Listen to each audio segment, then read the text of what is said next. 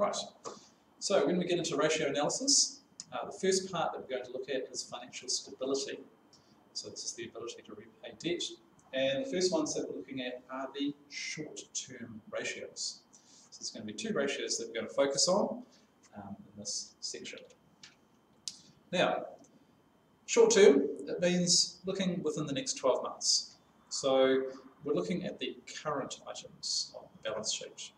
Current assets, current liabilities. That's where our focus is. Now, another word that you might see is called liquidity. Liquidity, you know, is just the business's ability to meet its immediate financial commitments when they're due. How well can they repay their debts? Can they actually pay their creditors on time? Because some firms, well, you know, they can't. They don't have enough cash on hand. So these two ratios that we're going to do, these show how well they can pay their short-term debts. Those, short, those ones in the short term. So here are the first two. Um, they are called the current ratio and then working capital. So we'll go through, I'll give some indication of you know what's a good result, what's not a good result, and then um, you can practice them and calculate them yourself.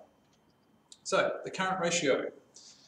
Uh, current ratio is, this is the formula at the top, it's current assets divided by current liabilities. So if you don't know what that line means, it's just a divided by.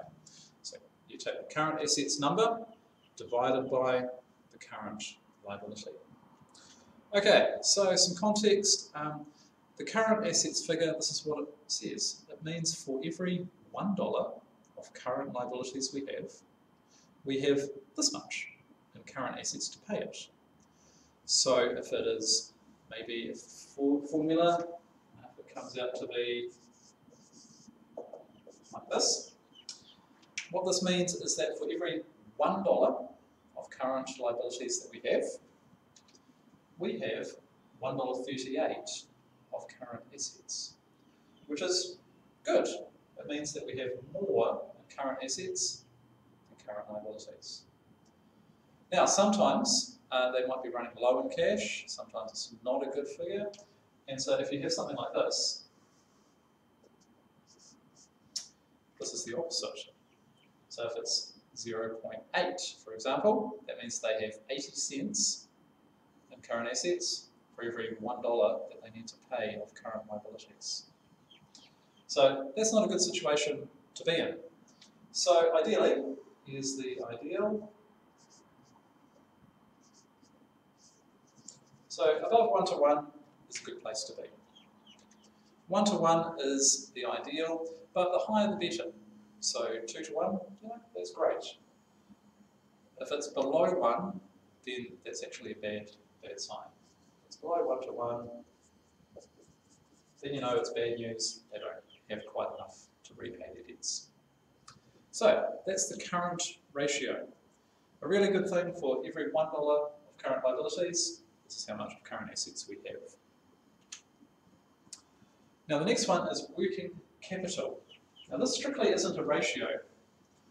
Um, this is this working capital is actually a dollar figure. So imagine, so it's I read it out, this shows the excess current assets if they were to repay all their current liabilities.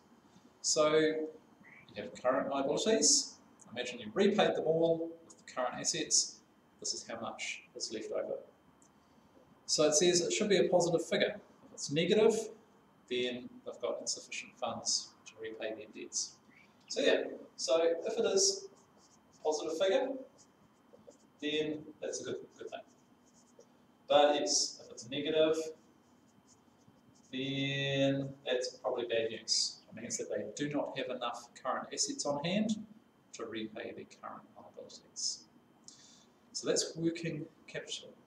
And working capital just refers to the process. You know, you need cash to buy your inventory, to buy your purchases, to then sell to the customers, and then the customers pay you cash, and then you use that cash again to buy more inventory.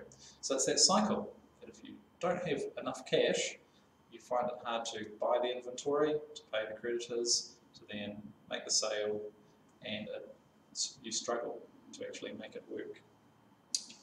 Okay, so uh, you can give it a go. We've got a little um, handout. You can do the hotels as well.